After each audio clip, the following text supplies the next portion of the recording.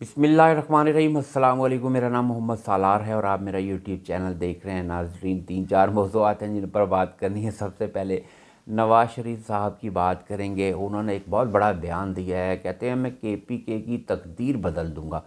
और मज़े आके जनाब, मौजें ही मौजें होगी के पी के लोग खुश हैं लुटियाँ डाल रहे हैं कि नवाज़ शरीफ साहब ने इतना बड़ा बयान दे दिया। तीन चार दिन पहले का एक बयान था नवाज़ शरीफ साहब का। वो भी पहले आपको बता देता हूँ। उन्होंने कहा था कि जो के पी के जो लोग हैं, वो बेवकूफ़ हैं। और दूसरी चीज़ ये उन्होंने कहा कि बीमारियाँ सारी वहीं से ही आती हैं और जो इमरान खान को वोट दे देते हैं, इस किस्म की उन्होंने बात की। आज वो कह रहे हैं, जनाब के पी के की जो है, वो तकदीर बदल दूँगा। और साथ उन्होंने ये भी फरमाया कि आजमाए लोगों को वोट मत दें। अब यहाँ पे दो सवाल पैदा होते हैं कि ये बात आप किसको कर रहे हैं? अपने आप को कर रहे हैं या इमरान खान को कर रहे हैं? देखिए, अगर इमरान खान की बात अगर करें तो वाहिद के पी के का एक सूबा है, जहाँ पे कहते हैं, जो मर्ज़ी कर लो, जो मर्ज़ी कर लो, वहाँ पे धांधली कराना इंतहाई मुश्किल है। पूरा के पी के जनाब इमरान खान के साथ है। इवन के मौलाना फजलरहमान साहब जो हैं, वो भी सर पकड़ के बैठ गए हैं, और अगर हकीकत देखी जाए तो उनको उम्मीद ही नहीं है अब के पी के से ना कि उनको कुछ मिलना है वहाँ से। तब भी उनके जो डेरे हैं वो बलूचिस्तान में हैं, बलूचिस्तान में उन्होंने अपने कैंप गाड़े हुए हैं कि जनाब वहाँ से ही कुछ मिलेगा तो मिलेगा। और मौलाना फजल रहमान साहब के जमात की ही एक बात करूँगा आगे चल के कि उन्होंने किस किस्म के अल्फाज बोल दिए हैं। लेकिन पहले नवाज़ शरीफ साहब की ही बात कर रहा हूँ, मैं उन पर थोड़ी सी बात कर रहा हूँ। तो बात सारी ये है कि एक तरफ़ आप उनको बेवकूफ़ कहते हैं, दूसरी तरफ़ आप उनको कहते हैं बीमारियाँ वहाँ से आते हैं, दूसरी तरफ़ ये आप कहते हैं कि तकदीर बदल दूँगा। चौथी तरफ़ आप ये कहते हैं कि जनाब, आजमाए हुओं को आजमाए मत। अब मतलब फिर अगर इमरान खान को वोट ना दिया जाए तो वोट तो फिर तकाजा तो यही है कि वोट फिर आपको भी ना दिया जाए। उसकी वजह है कि तीन बार वज़ी अजम बने तो आपने के पी के लिए क्या कर लिया? सबसे बड़ी बात यह है।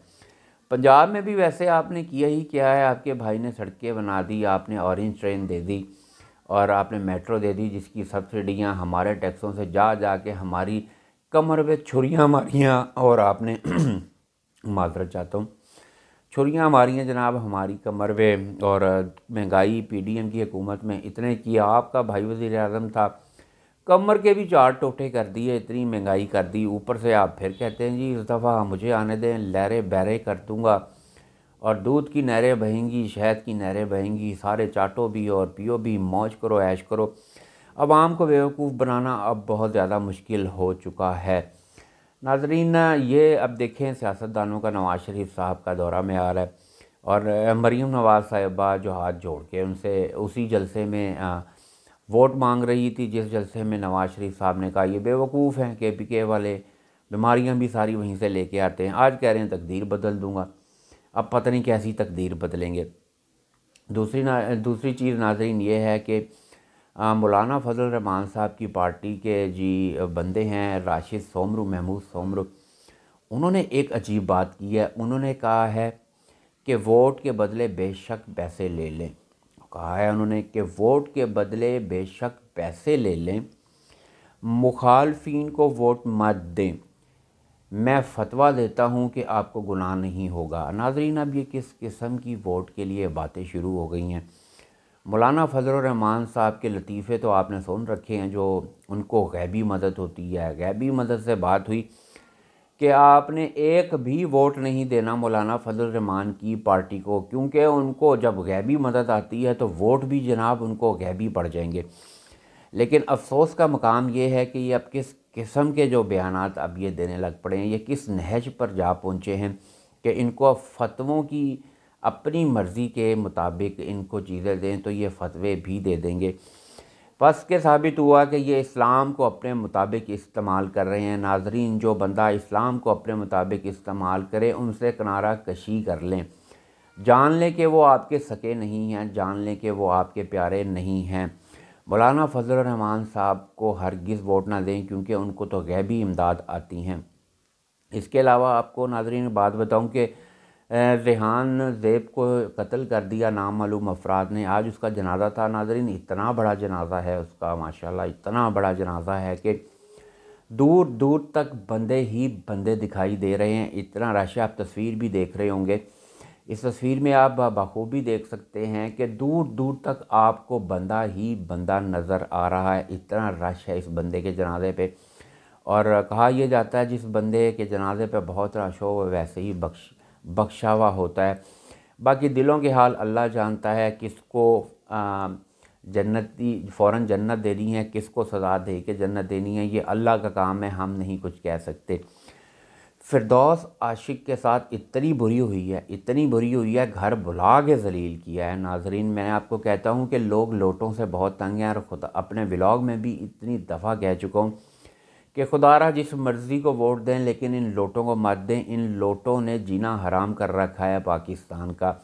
जब तक पाकिस्तान में लोटे हैं, पाकिस्तान तरक्की नहीं कर सकता। ये वही चालीस, पचास, साठ लोटे हैं जो हर इलेक्शन में इधर से उधर हो जाते हैं, उधर से इधर हो जाते हैं। नाजरीन, इन लोगों ने पाकिस्तान को तबाह किया हुआ है।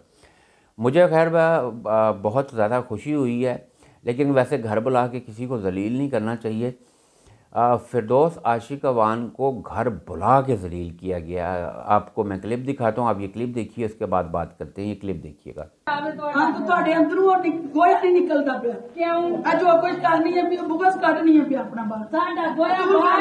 जी आपने क्लिप देखा क्लिप में वो कह रही है यार कि आपके दिलों से इमरान खान निकल ही नहीं रहा आप तो घर बुला के इज़्ज़त नहीं दे रहे। और उन्होंने जो है वो हार भी उठा के वो पराम फेंका।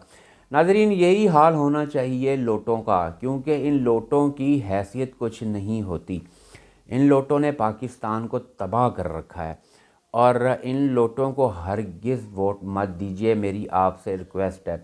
और दूसरा जनाब ये बात है कि आ, हमारे मुल्क में दो किस्म के चोर हैं। एक छोटा चोर है एक सियासी चोर है। छोटा चोर जो होता है वो आपका मोबाइल साइकिल मोटरसाइकिल इस तरह की चीज़ें जो है वो चुराता है। सियासी चोर जो होता है, वो आपकी तालीम, आपकी सेहत, आपके जज्बात, आपके टैक्स, हर चीज़ चोरी करता है। इन दोनों चोरों में बुनियादी फ़र्क ये है कि छोटा चोर जो है, वो आपको ख़ुद पसंद करता है कि कहाँ चोरी करनी है। लेकिन बड़े चोरों को आप ख़ुद इंतखब उनका करते हैं। तो ये बहुत बुनियादी फ़र्क है। इस दफ़ा वोट को सोच समझ के दीजिएगा और अपनी वोट, अपनी इज़्ज़त रखिएगा, वोट की इज़्ज़त रखिएगा। और खुदारा लोटों से बचिएगा। उम्मीद है नाजरीन मेरा आपको ये व्लॉग अच्छा लगा होगा। अच्छा लगे तो कमेंट में ज़रूर बताइएगा। अपना अपनी फैमिली का बहुत ख्याल रखिएगा। अगर हो सके तो सब्सक्राइब भी कर दीजिएगा। बहुत शुक्रिया आप सबका। अल्लाह हाफिज़।